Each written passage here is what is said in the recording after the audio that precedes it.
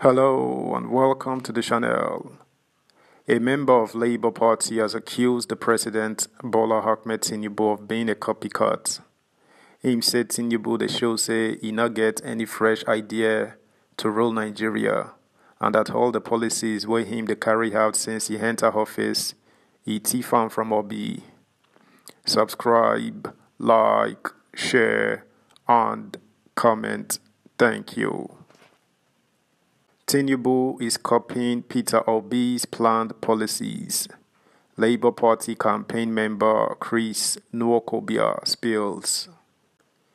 A member of the Labour Party and Obi-Datti Presidential Campaign Council for the 2023 election, Professor Chris Nwokobia has said President Bola Tinubu is copying all the planned policies of the party's presidential candidate, Peter Obi. Nwokobia said Tinubu, since his inauguration, has been executing policies planned by the Labour Party flag bearer. Naija News gathered. He said this during a live program on Arise News TV on Thursday, when he claimed that Tinubu's style of governance showed it did not have any fresh ideas on how to solve the country's lingering socio-economic issues. He argued that Tinubu's appraisal of his performance in the last month is false adding that President Muhammadu Buhari began similarly, but that in the end his administration was unable to deliver on his campaign promises to Nigerians. The Labour Party chieftain said, Obi would have done better if given the chance due to his expertise in politics and economics. Nwokobia said, All we have seen in the lifespan, one month of this administration, is copycatting the policy programs of Peter Gregory Obi. Peter Obi would have done better. Clearly, he understands Nigerian politics. Clearly, he understands the economy. Clearly, he understands business and he is a trader. Regarding the pace of Mr. President, I disagree with those who say he is moving so fast. Haven't we seen since 1999 several administrations, some moved faster than this? At some point, it took Buhari about six months or five months to appoint ministers in 2015. He was moving at quite supersonic pace that Nigerians said, oh, the body language of the president could do so much. He, Tinubu, exchanged service chiefs. He removed subsidy because there was no provision for subsidy beyond June. He had no option but to do that. But the question I always asked economists and those who had gone to this government of the seats is where really was the subsidy? Meanwhile, the Edo State chapter of the People's Democratic Party (PDP) has hailed President Bola Tinubu for the courage to remove fuel subsidies. Naija News reports that the Edo PDP said courage to remove subsidy from petrol and free float the naira currency is commendable. The state party chairman, Dr. Tony Aziegbemi, noted that the implementation by the Tinubu-led government will give Nigeria an excess of 2 trillion naira.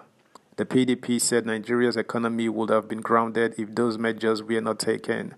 According to them, the success of the economic policies would, however, depend on how the palliative will be handled and implemented. Speaking on why he is commending an opposition led federal government, Aziegbemi said, it is the paradigm shift in policies that we are bringing on board in the PDP. President Tinubu on May 29 on his inauguration day announced the removal of fuel subsidy. The governors of the All Progressives Congress APC in Southwest, Oni of Ife, Oba Enitan Adeyeye Ogunwusi, and other prominent leaders are set to host President Bola Tinubu to a homecoming on Saturday, July 22, 2023. The chairman of the Southwest Presidential Post Inauguration Ceremony, Professor Kayode Familoni, stated this on Thursday in a press conference in Ado-Ekiti, the Ekiti state capital. Speaking, Familoni said the celebration, which will take place at the Ojaja Resort in Ile-Ife, Osun, will be attended by other stakeholders, political bodies, and religious bodies. It is close that Governors Biodun Oyebanji, Ekiti, Babajide Sanwo-Olu, Lagos, and Dapo Abiodun, Ogun, are expected to preside over the event alongside other APC leaders across the country. Familoni stated that the event was significant to the unity and progress of the country, adding that the people of the Southwest were determined to support the administration for success. The professor stated that the celebration would be the first gathering of Yoruba sons and daughters from the diaspora and within Nigeria to celebrate a president from their race. He said, We had a previous president who did not have a solid home in the past, but for the first time, we have a president that is genuinely loved and supported. Hence, the uniqueness of the inauguration deserves a special event. We are planning an honorary degree for the president in one of the universities and as well as a book launch in his honor. Subscribe, like, share, comment, and please turn the notification bell on. Thank you. Yoruba people are ready to support him regardless of political affiliation. The leaders are committed to his success, and you can see what he achieved in one month, what some people can't do in eight years. This coming celebration of our president is perhaps the first time that Yoruba sons and daughters from the diaspora and within the country will have a structured and formal social gathering for a true Yoruba son as the president of this republic. Two governors from the southwest region will be the chairman and deputy chairman of this unique occasion. Familoni maintained that since he assumed office a month ago, President Tinubu, he has demonstrated genuine intention for the country's development with his policies and programs.